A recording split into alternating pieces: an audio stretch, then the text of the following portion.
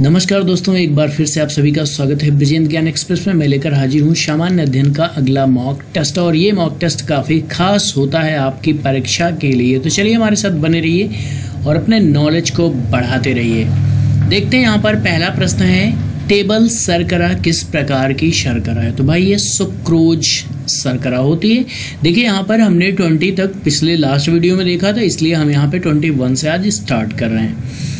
Second question है, निम्न में से कौन सा रेशेदार प्रोटीन है? रेशेदार प्रोटीन की बात करें तो भाई देखिए, हीमोग्लोबिन, एंजाइम और एल्बुमिन नहीं है। कैरोटीन जो है कि रेशेदार प्रोटीन का उदाहरण है।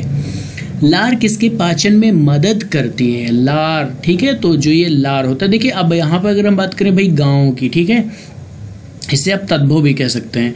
तो राल बोला जाता है, जस्ट अपोजिट बोला जाता है, जबकि लार होता है, ठीक है? तो ये जो है स्टार्च के पाचन में मदद करती है लार। दूध को दही में स्कंदित करने वाला प्रोटीन होता है भाई, कौन सा प्रोटीन होता है? तो ये रेनिन नाम का होता है, ठीक है? अगला है, निम्न में से किसको आरबीसी का कब्रिस्तान कहते हैं, ठीक है? किसका आरबीसी का कब्रिस्तान कहा जाता है भाई? प्लीहा को। देखिए, यहाँ पर ये क्वेश्चन काफ़ी इंपॉर्टेंट है तो इनको आप बिल्कुल ना भूलें, ठीक है? क्या है? आरबीसी का कब्रिस्तान किसको कहते हैं? प्लीहा को। मानव शरीर का सबसे बड़ा अंग कौन सा है? देखिए, मानव शरीर का सबसे बड़ा अंग की बात करें तो यकृत होता है। क्या होता है? यकृत होता है।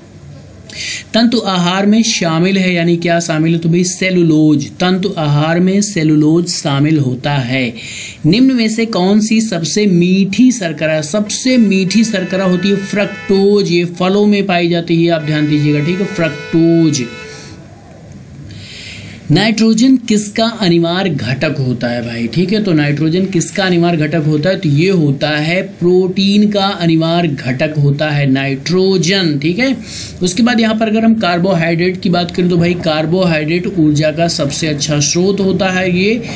आलू में पाया जाता है अच्छा कार्बोहाइड्रेट, ओके? नाउ, अगला है, हमारे शरीर में ऊर्जा निम्न में से कौन देता है? तो देखिए भाई कार्बोहाइड्रेट ठीक है? ऊर्जा का सबसे अच्छा स्रोत होता है कार्बो कार्बोहाइड्रेट ओके नाउ अगला है, भारत में पहली बार अठारह सौ तिरपन में किस स्थान से रेल यात्रा प्रारंभ की गई थी? तो देखिए, ये रेल यात्रा की बात करें तो भाई मुंबई से शुरू की गई थी और कहाँ तक? थाने तक, ठीक है? मुंबई से थाणे के बीच पहली बार भारत में रेल चली थी और ये चली थी कितना? 34 किलोमीटर की यात्रा की गई थी फ़र्स्ट टाइम में। और यहाँ पर एक क्वेश्चन ये महत्वपूर्ण हो जाता है कि किसके समय में चली थी? तो ये आप जानते होंगे डलहौजी, ठीक है? डलहौजी के समय में भारत में पहली बार रेल चली थी। इसीलिए डलहौजी को भारतीय रेलवे का जनक भी माना जाता है। निम्न में से भारत में स्थानीय स्वशासन का अग्रगामी कौन था? तो भाई, स्थानीय स्वशासन यहाँ पर ये महत्वपूर्ण है, ठीक है? तो रिपन, लॉर्ड रिपन जो है कि स्थानीय स्वशासन का जनक था, अग्रगामी था। किस अधिनियम की महत्वपूर्ण विशेषता प्रांतीय स्वायत्तता थी तो भाई ये 1935 ठीक है 1935 का अधिनियम। अब आपको बता दें कि जो 1935 का अधिनियम है, हमारे भारतीय संविधान पर सबसे ज़्यादा असर इसी अधिनियम का पड़ा है, ठीक है? ऐसा भी क्वेश्चन पूछा गया है। अगला प्रश्न है, जवाहरलाल नेहरू का जन्म किस राशि में हुआ था? तो देखिए भाई, वृश्चिक राशि में हुआ था। भारतीय राष्ट्रीय कांग्रेस के पहले अधिवेशन में कितने प्रतिनिधियों ने भाग लिया था? तो सेवेंटी टू बहत्तर प्रतिनिधियों ने भाग लिया था। भारतीय राष्ट्रीय कांग्रेस के प्रथम अधिवेशन में। और आप जानते होंगे भाई राष्ट्रीय कांग्रेस की स्थापना ए ओ ह्यूम ने की थी और इसके पहले अध्यक्ष थे डब्ल्यू सी बनर्जी, ठीक है? चंद्र बनर्जी थे। मुस्लिम लीग की स्थापना किस वर्ष हुई थी? काफ़ी इंपॉर्टेंट क्वेश्चन है, बहुत बार पूछा गया है तो 1906 ईस्वी में ढाका में हुई थी, ठीक है? ढाका में, कहा हुई थी? ढाका में हुई थी इसकी स्थापना। और इसी से रिलेटेड भाई 1905 1905 आप लोग जानते होंगे किस लिए जाना जाता है?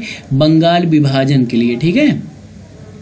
गुजरात में साबरमती आश्रम की स्थापना गांधी जी द्वारा किस वर्ष की गई थी? तो देखिए, ये 1917 में की गई थी।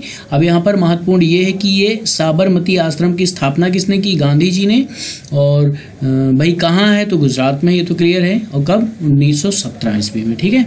अगला है, चिटगांव शस्त्रागार पर धावा किसके नेतृत्व में बोला गया था? तो भाई, ये जो धावा बोला गया था इसका सही जवाब है सूर्य सेन, ठीक है? तो क्या भाई? चिटगांव शास्त्रागार पर धावा किसके नेतृत्व में बोला गया था? तो सूर्य सेन के नेतृत्व में बोला गया था। स्वतंत्र भारत में पहली गैर कांग्रेस सरकार किस राज्य में बनी थी? तो भाई ठीक है, गैर कांग्रेस सरकार की बात करें, अर्थात कांग्रेस की सरकार नहीं थी तो स्वतंत्रता के बाद पहली बार केरल में गैर कांग्रेस सरकार बनी थी, ओके? नाउ, फोर्टी नंबर है गांधी जी ने सत्याग्रह आंदोलन किस वर्ष में प्रारंभ किया था या शुरू किया था, ठीक है? तो इसका सही जवाब है भाई 1919 ईस्वी में। तो दोस्तों, इस तरीके से हमने 20 प्रश्नों को कंप्लीट कर लिया है और हाँ आप लोगों को अगर लगता है कि भाई क्वेश्चन 30 ही रखे जाएँ या 25 कर दें या फिर 20 ही रहें तो ये आप कमेंट करके अपना सुझाव दीजिएगा। तो जिधर ज़्यादा मत होंगे, उसी पर फैसला ले लिया जाएगा, ठीक है? वीडियो देखने के लिए आप सभी का बहुत बहुत शुक्रिया। मिलते हैं अगले वीडियो में और हाँ आप कहीं मत जाइएगा, चूँकि यहाँ पर मैं कंटिन्यू आपको वीडियो प्रोवाइड करा रहा हूँ। Once again thank you so much for watching this video